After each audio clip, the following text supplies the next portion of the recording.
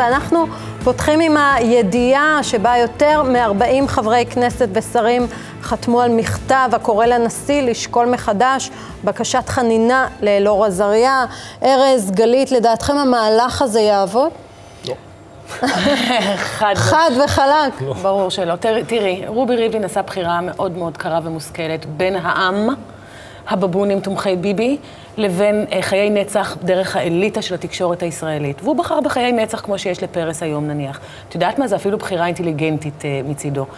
כמובן שבין הערובה של הבחירה הזו אל אור עזריה, הסנטימנט הישראלי ברחוב הישראלי, אני חושבת שזה גם אפילו חוצה שמאל וימין, הוא לטובת החייל הזה. הישראלים מבינים שמדובר בחייל שאולי שגה, אבל לא באויב העם. כן. וההתנפלות של הצבא עליו היא באמת צלקת של כולנו.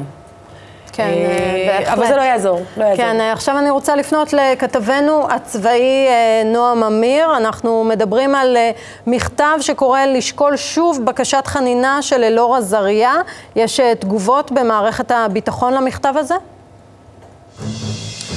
לא, אין תגובות במערכת הביטחון, דנה, אבל מה, ש...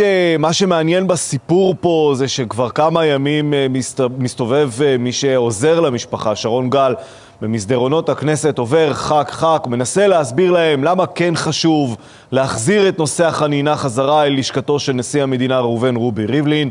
ככה קצת על קצה המזלג, שמות של שרים בכירים מאוד חתומים על המכתב הזה. שר הביטחון, זה כבר לא טריוויאלי שהוא uh, תומך במשפחה ובאירוע הזה, אבל שרת המשפטים איילת שקד אומנם התבטאה בנושא בפומבי, ובכל זאת, שרת המשפטים של מדינת ישראל חותמת על מכתב חוזר לנשיא לשקול מחדש חנינה, גם השר לביטחון פנים גלעד ארדן חתום על המכתב, גם כן שר בכיר בממשלה, ועוד למעלה מ-40 חברי כנסת. שרון גל רוצה להגיע למספרים של מעל 60, ואז להגיש את הבקשה מחדש לנשיא לבחינה מחודשת. כמו שאמרתם שם באולפן, אולי הסיכוי לכך קלוש, אבל אולי גם לא, כי גם ראובן רובי ריבלין אדם שקול, שרואה את הסערה ברחוב, רואה את ההד הציבורי שהסיפור הזה מקבל, עם עוד 60 וכמה חתימות, יכול להיות שהוא גם יקבל החלטה אחרת. כן. אולי.